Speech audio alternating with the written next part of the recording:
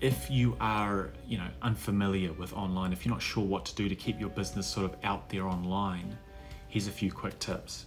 Firstly make sure you've got a website for a start. If you don't have a website get in contact with me i'll look after you. Secondly make sure you post to that website.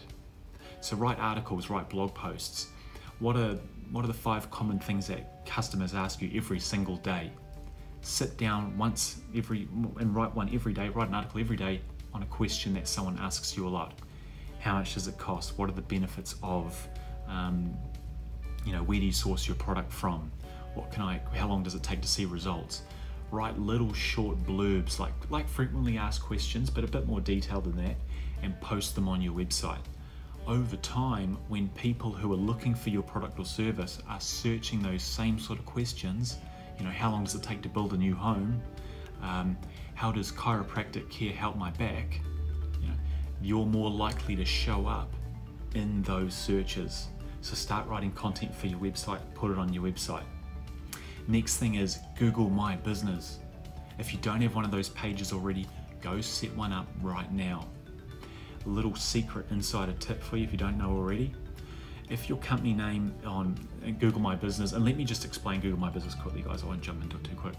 Google My Business, you search for, let's say, a restaurant on Google you'll see a map come up and you'll see businesses come up on the side. Those are Google My Business listings. You want to make sure that you're in there. If you're not in there already, go set yourself up. Go to business.google.com and register. Now back to the title.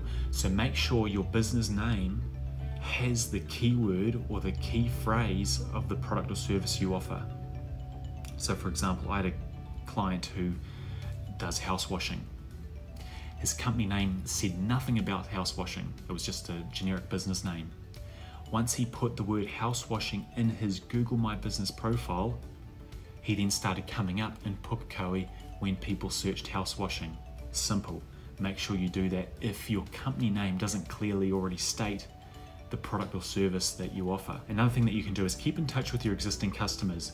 So if you're a brand new, you know, brand new business, it might be a bit tricky, but if you have existing customers, even if it's 20 customers, get all their email addresses, put them into MailChimp, and start sending them regular emails once a week, once every two weeks, and keep in touch with them. Now, don't just hammer them and try and sell them stuff. Actually add value, give them beneficial information, again, referring back to even the questions that they might commonly ask. Or perhaps you've got some helpful advice for them, like if you're an accountant, for example, during this COVID 19 you know, dilemma, it could be a good time that you actually say to people, hey, look, here's what the government's planning to do in regards to your tax. Or here's some things you can buy to, you know, write off now because the government are being easy on them, whatever it might be. You know, I'm no expert in that area, but what can you do? What can you add value? You know, what can you add value to your customers during this period. Use MailChimp to do that. Now, finally, one other thing I'll give you is use social media. If you don't use it, just get into it. We've, we've all got plenty of time really at the moment to focus on and learn new technologies and new things. So use social media like Facebook and Instagram to post updates, post information on what you do or what you've been working on that might be now on hold. And another final tip, guys, if you're using the likes of Excel or a you know old-fashioned paper notepad or a, a paper invoice book. Everything's changing. Everything's going online. Go and sign up on my uh, software website Zulu. Go and set up a free trial on Zulu. If I see you on there, I'll give you a 90-day free trial. You don't obviously need any credit cards or anything. It's totally free. You can give it a go. But it's basically a one-stop shop to list all your customers, do your quotes, manage your timesheets, even manage your staff's timesheets.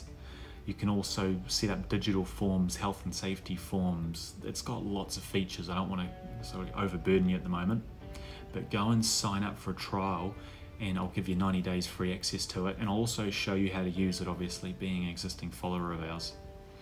So stay safe out there. If you do have any questions, please email us and we'll be happy to help.